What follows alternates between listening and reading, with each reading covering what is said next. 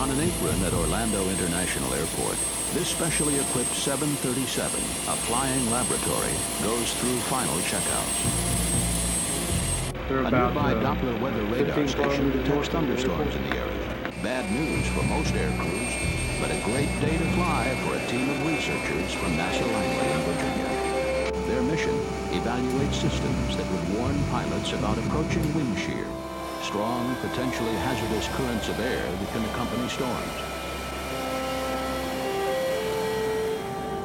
The best way to do it? Fly right through them.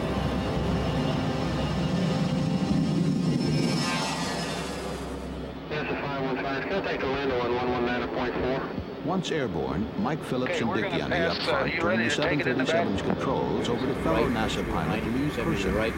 Flies the plane Coming from back an around. advanced Confirm research on cockpit Wing and mark set. LiDAR looks good. Guided by displays did from weather radar on the You said it was ground point and a variety of uh, onboard I believe you. sensors, they we got a seek radar out and fly through areas where a particularly Going straight down threatening type of wind shear 900 called feet, uh, two miles, you microbursts got the are likely to occur. Five zero. Microbursts are powerful localized downdrafts that can literally knock an unsuspecting coming under the clouds. of the sky during an approach or landing. Yeah, we got some turbulence now. We're about three miles short.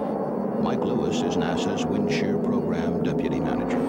Between 1975 and 85, fully 50% of the aircraft fatalities were either directly or partially caused by, by this wind shear phenomenon. The FAA has mandated that all airliners be equipped with some kind of wind shear advance warning system by 1995. The joint NASA-FAA effort in Orlando marks the culmination of years of study aimed at evaluating candidate technologies. A microwave radar housed in the 737's nose, a Doppler LiDAR under its forward cargo bay, and a side-mounted infrared device. Though each works differently, all three are designed to detect wind shear out ahead of an aircraft. Only by flying through storm cells where microbursts are present can researchers truly test the reliability of the sensors. 0.16 F factor. Okay, say reflectivity, Lincoln.